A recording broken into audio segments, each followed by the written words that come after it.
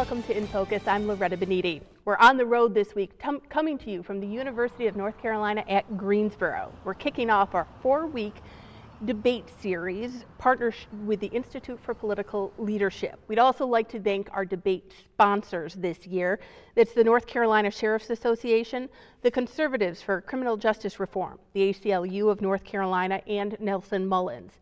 This year, we will focus all of our debates on criminal justice reform in North Carolina. Our topic today will be capital punishment in our state. Our topic today will be juvenile justice reform. Our topic today will be the role of the prosecutor.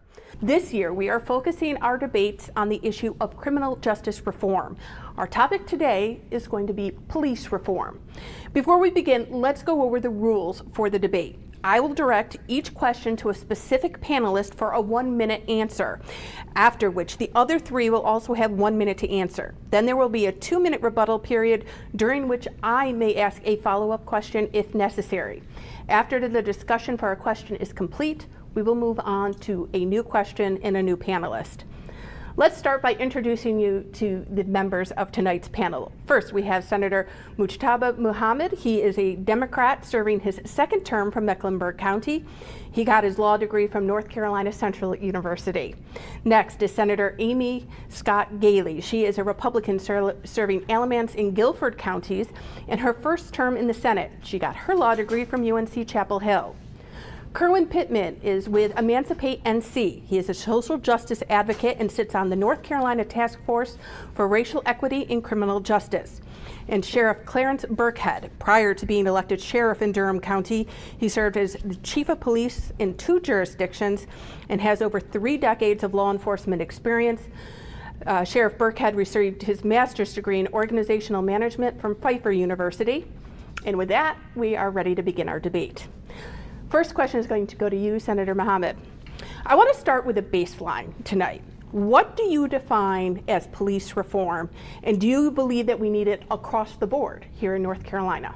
Well, first of all, Loretta, thank you so much for having me in this wonderful, esteemed panel, and thank you so much for having this critical conversation that so many folks are having, not only uh, in places like Wake County in North Carolina, but across the country.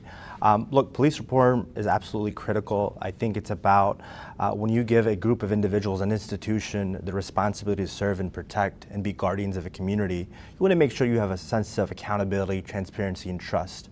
Uh, so I think communities across, whether it's Charlotte, Mecklenburg, where I come from, whether it's Raleigh, Wake County, or any part of this state, I think folks want basic decency, transparency, accountability in law enforcement so we can build a cooperative relationship with the community and the police. Uh, so you're seeing a lot of movements at doing exactly that, especially because real lives are at stake. Um, throughout the summer, after the murder of George Floyd, you saw protests across not only our state, but across the country, even parts of the world asking for more police accountability and trust uh, because they have a critical role uh, and it's important to have them uh, be at the table to work together to create a safer community for all of us. Okay. Senator Galey, same question to you. Thank you so much. And also, yes, thank you very much for having us tonight. Um, I would define police, I would think about police reform in the context of any career, any profession. Um, we wouldn't treat our cancer the way we did 30 years ago. We wouldn't look at um, most professions the way we have in the past. I think, like other professions, policing should be continually renewed, continually updated, continually refreshed so that we can learn from the past and adapt and look forward to the future and make sure that what is happening with our law enforcement is reflecting what's going on in our society. As far as needing police reform right now across the board in North Carolina, I think it's extremely important to recognize and acknowledge the tremendous efforts that are being made in local governments, in city councils with their police departments, in county commissions working with their elected sheriffs to adapt and uh, refresh with the times. There's so much work being done with mental health, um, with uh, other kinds of reform, with uh, uh attending to the needs of the people who come into contact with the jail system. Um, there's so much that's already happening that across the board in North Carolina. I think tonight, I hope, will be a good time to uh, get to dig into that and have some discussion about what's happening on the local level already. Okay. Mr. Pittman? Um, thank you for having me on this esteemed panel first. Um, and police reform across the board is definitely um, needed right now in our current um, state. Um, since the brutal murder of George Floyd kind of put a spotlight on the importance of this reform, but this reform was definitely needed before um, the brutal murder of George Floyd. Um, and if we had this type of reform in place in North Carolina, um, we will make sure that true transparency and accountability um, will be had when it comes to law enforcement um, across the state of North Carolina.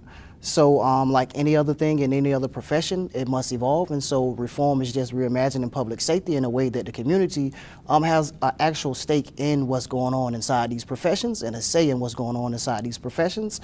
Um, since, after all, these individuals are the ones who are being policed, especially those in marginalized communities. Um, so, I always believe that those who are closest to the pain should be closest to the power. Um, and we must center those marginalized communities and voices and pains and, and, and trauma and stories um, to create different policies and reforms reflecting these so they will not continue to be um, brutalized. Okay. And Sheriff Birkhead. Thank you, and what a pleasure to be here tonight with all of the panelists. The short answer for me is yes. Uh, we are in need of police reform, and as everyone has already stated, the time is now. We must engage in policing that is transparent, uh, that is dependable, and that that really answers to the people. Uh, as a sheriff and representing the North Carolina Sheriff's Association, we are servant leaders, and it, it is up to us to lead the way. I'm really happy to say that we've had these conversations at the North Carolina Sheriff's Association. We're talking about how we can raise the level of professionalism. Uh, and building strong relationships within communities is exactly what a sheriff does.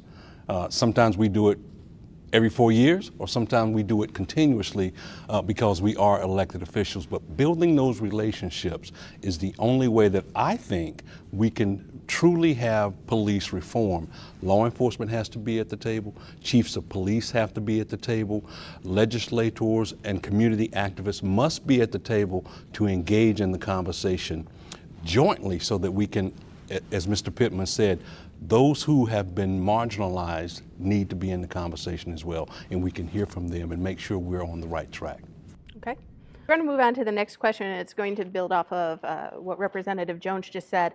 What age is the right age to start putting juveniles into detention centers if they've broken the law? And what, what's too young, and why is it too young? Thanks, Loretta. It's a question that has been debated much, and uh, at NC Child, we this past year, we were very encouraged to see the minimum age raised up to 10 years old, except for egregious felonies for eight and nine year olds, which very rarely happens.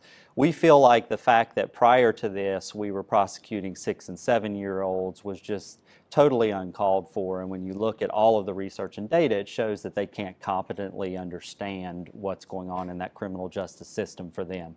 Um, we felt like that was a good compromise and it's a great step forward and we're glad North Carolina took it. I think that a lot of the research shows that actually the age of like 14 is probably uh, a mark that we at NC Child would be looking towards because again, when you look at the brain development, the competency to go before a judge and understand the consequences of actions and such, there's lots of data that has shown us that actually there's a lot of children under that age that don't really qualify under those parameters. So um, other states have minimum ages that are higher than North Carolina's now. We feel like we've taken a step in the right direction and we want to keep pushing the envelope because again, the idea is getting the services to the individual, to that child, to that family. And what we really need to be doing with so many of these situations with younger children is getting them the mental health services that they need. And that's a whole other point to be talked about. Okay. Ms. Mitchell. So your your question was what is the right age for detention? And I think that that is a very hard question. It seemed like it could be a really straightforward quick answer question, but I don't think it's an easy question to answer, really. I think that, you know, you really have to, just like you, Representative Jones said, um, you have to really look at what is the crime that is been, has been alleged to have been committed, and then look to the age, and then look to what is going on with that child, their mental health, um, you know, what other needs do they have. So I don't know if it, you know, I wouldn't want to just say this particular age is the best age for a kid to be in detention. There, the statute requires that the judge look at all different types, number of factors to determine whether or not a child should be placed in detention. And so I think those are good factors to start with. And so they, they, you would definitely have to look at, like I said, the, the crime itself. Um, but you, detention as the first option should never be. It should never be the first option just solely based on the type of crime either. So I'm not saying that.